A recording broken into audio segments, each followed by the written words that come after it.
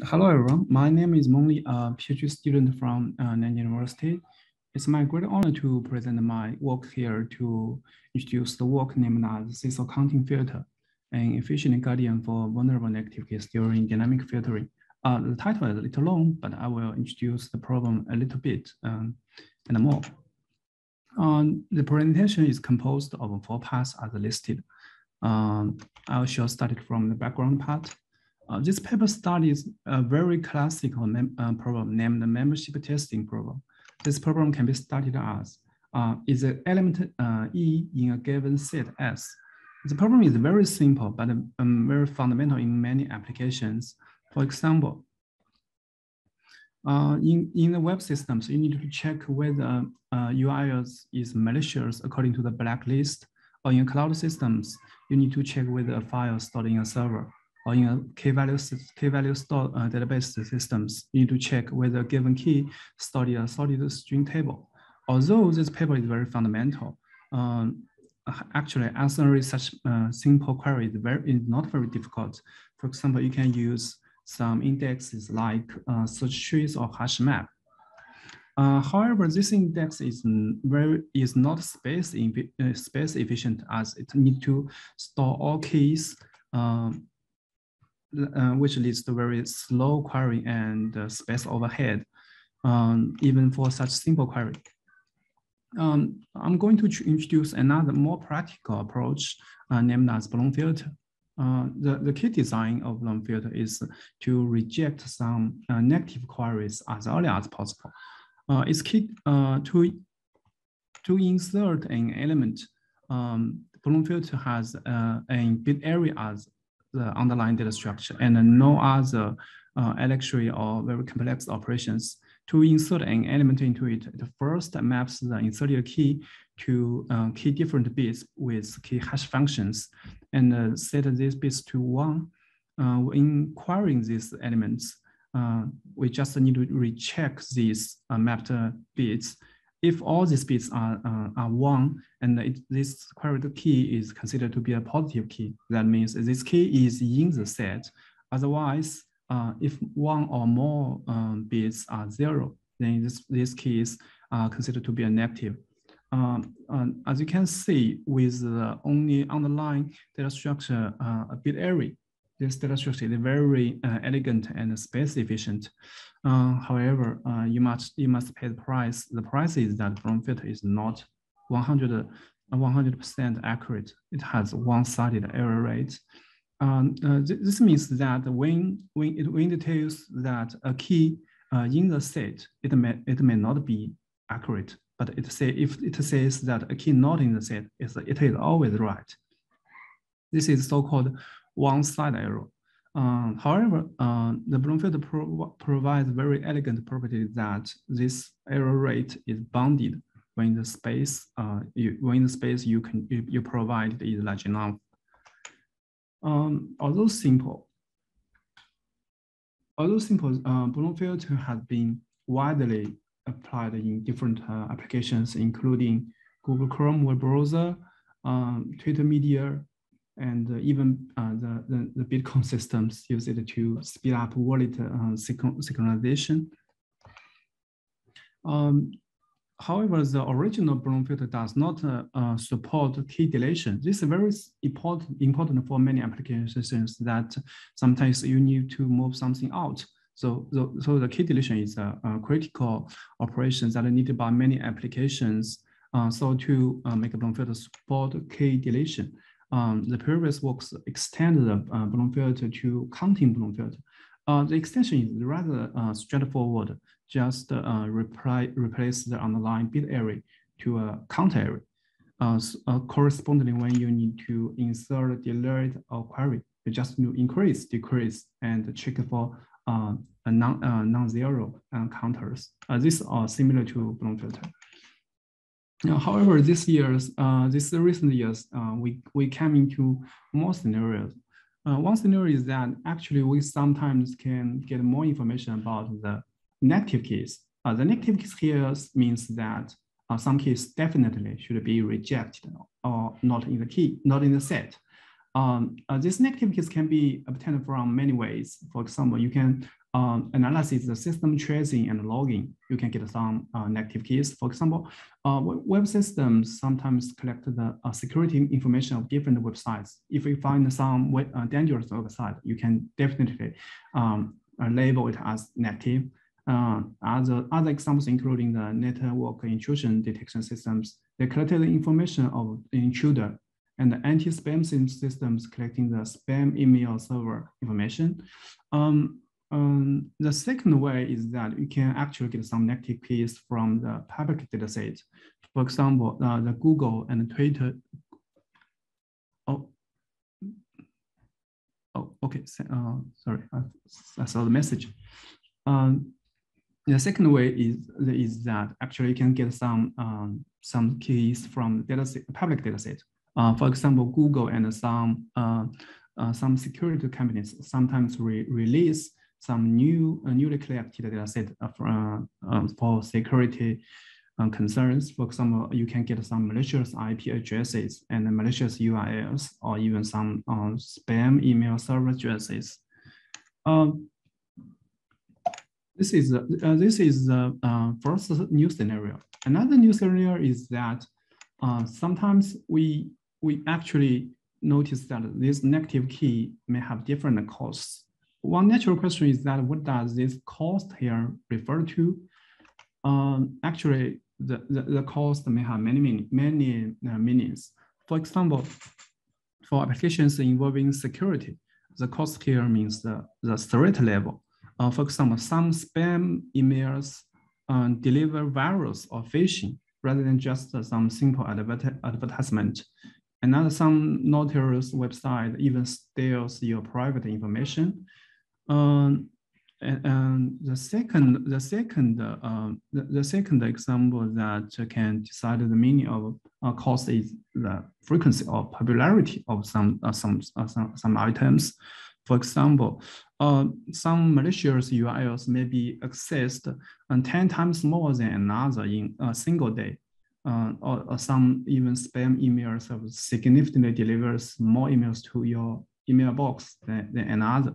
So, so, so um, when we notice that uh, actually these negative keys have different costs, uh, we, we need to handle them carefully. Um, for clar clarity, we denote these negative keys with high costs as vulnerable negative keys uh, in our context. So uh, our key problem is that how do we handle these ne vulnerable negative keys when you want to filter in most negative keys? Uh, here I listed the, uh, the prior filters limitations in terms three aspects, including uh, cost sensitivity. Um, this means whether they are sensitive to the costs of negative keys and uh, uh, dy dynamicity. This means whether do, do you support incremental adding, adding more keys into the uh, filter. The, the third metric is the prior knowledge. Um, this means uh, do you need to know all the keys or part um, or part of the keys. Um, for counting Bloom filter, it is actually insensitive to the negative key costs. Um, the second kind of uh, filter is a learned filter. Learned filter is uh, uh, based on machine learning models. However, these filters has no guarantees of accuracy as well as uh, incremental building. Um, the, the last three filters, they are cost-based filters. They are sensitive to the uh, keys cost. Uh, however, uh, no, no dynamicity or incremental building are supported by them. They only support you build, uh, build one time and uh, no more uh, adaptation to uh, key deletion or key insertion. Um, so our key problem in this paper is how to handling uh, this vulnerable negative, negative case with the, the four, the four below goals. We need to uh, we need to design a new filter supporting dynamicity and uh, achieving a high operation throughput. Uh, meanwhile, the new filter should be more accurate and uh, space efficient uh, than the traditional filters when you come across these vulnerable negative. Um, now we shall start with the proposed approach uh, Uh, we start from the um, key technique we, uh, we, we propose. The key technique um, uh, we, we use is called hash function modulation. Uh, the modulation here is an, another uh, as another concept used in the signal processing field. We, we borrowed here to illustrate that we, we change the hash functions of conflict keys.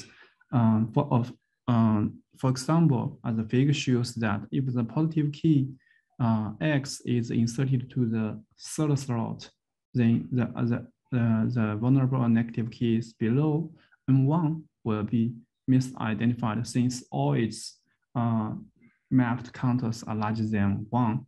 Um, so here we, and one, one natural way we, we, we want to uh, avoid such conflicts is to uh, change the hash function from H2, H2, H2 to H3. Um, uh, such process of changing the applied uh, hash functions for key is called uh, hash modulation in our paper. Um, although simple, but directly applying uh, the hash modulation is not uh, that easy. Uh, so we develop we develop a, a new field named as Seesaw counting filter. I will explain why why it gets the name Seesaw counting. Overall, the hash, uh, overall, the, this Seesaw counting filter has two parts. Uh, the first part named the hash modulator, it is used to store the modulated hash functions for this case. And the second part is called Seesaw counting array. Uh, this part is used to encode the negative and the uh, uh, positive keys.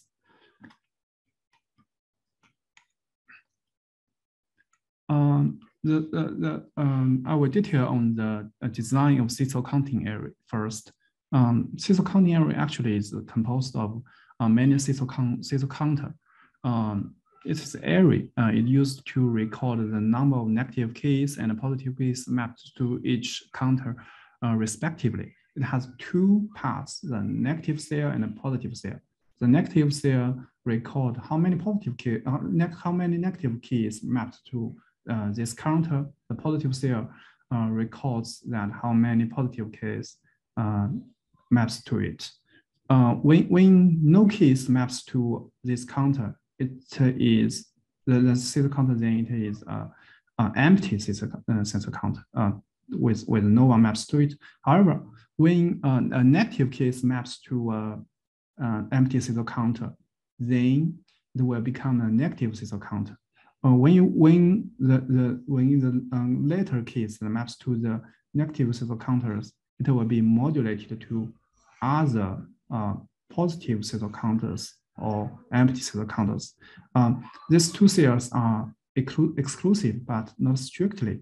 Um, on if if the hash modulation works.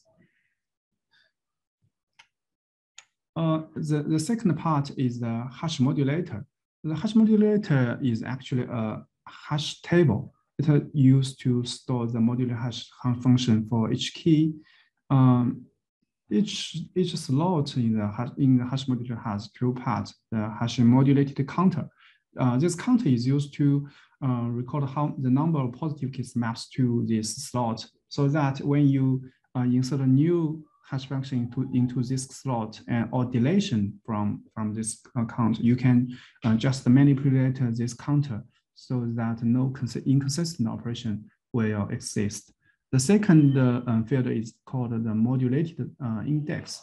This index is actually the index of your hash function. For example, if you use the H4 um, hash function as modulated, as modulated hash function, then the index four will be stored into the uh, second, uh, second field.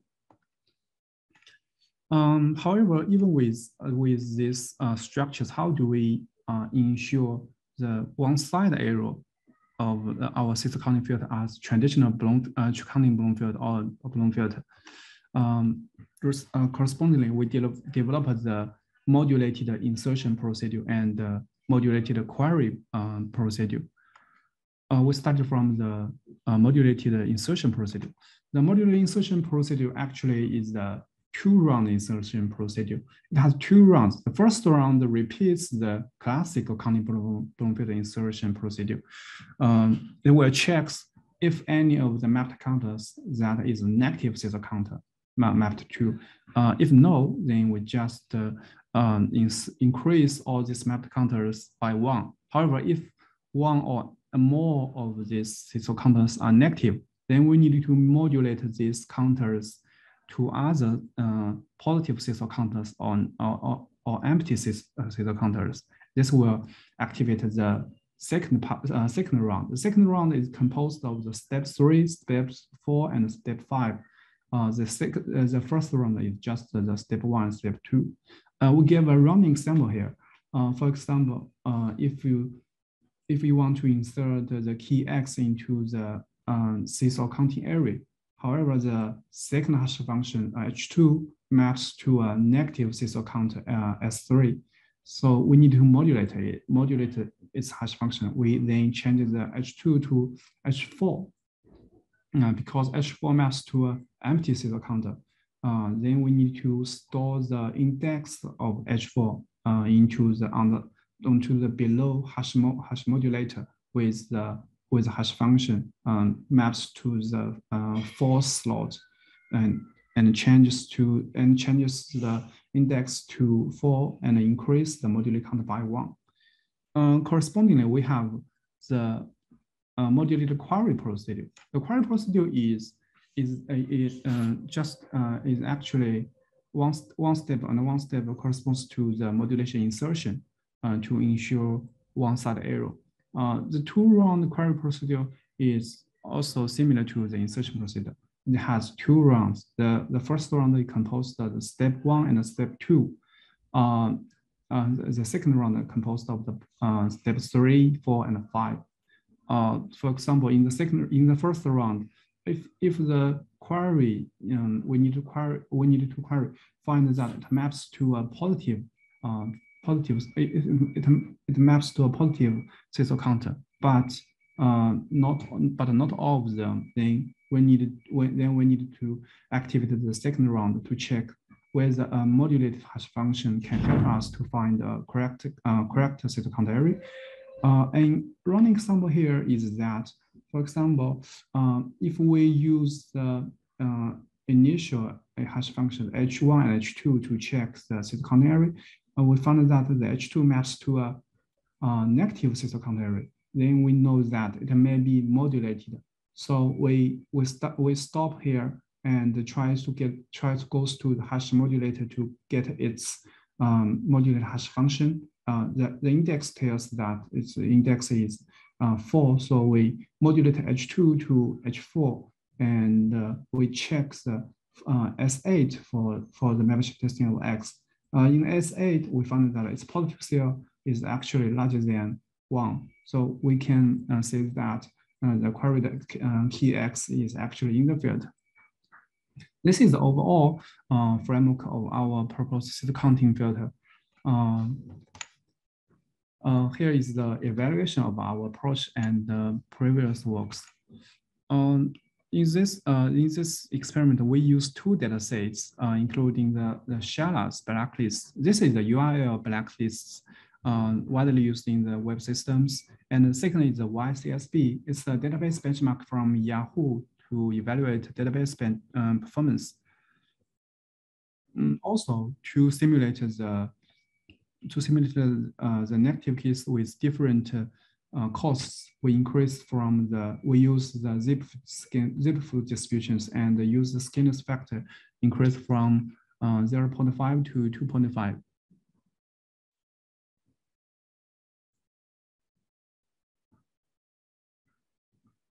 Oh, one warm up soon. Okay.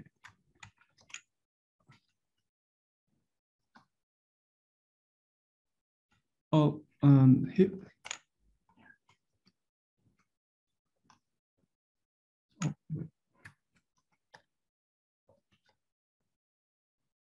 Oh, here is a, a use the uh, evaluate evaluating metric we used here. Um, uh, we use the metric uh, weighted FPR. Uh, note that the, the lower weighted FPR is the better the performance is. We use three baselines here, including the traditional counting Bloom filter and the weighted counting Bloom filter and a stacked filter. the, uh, sorry, uh, we, we, we evaluate uh, the operation latency uh, first here, and that we can find that our uh, uh, filters almost uh, has the almost has the comparable operation latency that is comparable to the traditional counting bloom filter. actually, they are very close to each other in, in, in, in terms of three oscillations.